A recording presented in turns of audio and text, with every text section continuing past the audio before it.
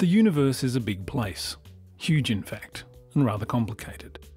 Unfortunately, the human brain is relatively tiny and simple, at least in comparison.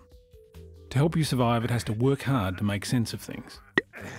It does have some clever tools to help it achieve this.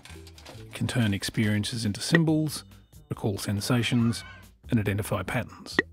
But most mental tricks take a lot of energy, and so your brain takes shortcuts.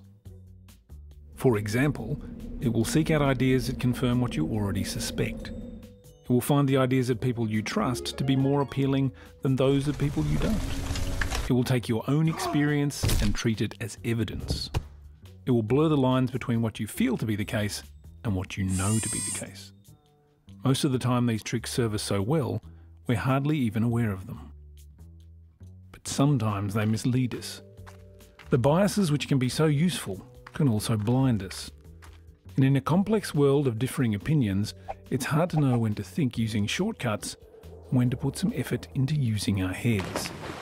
Thinking doesn't always need to be hard, however.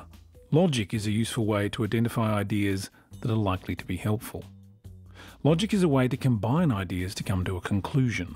It's like maths, only it can deal with more than numbers. You've probably used it already. Think about the last argument you had. Did it go a little something like this? But everyone else is allowed to go, why can't I? A logical argument would be structured all people are allowed to go, I am people, therefore I should be allowed to go. Logic is a useful way to combine established ideas to support the acceptance of a new idea.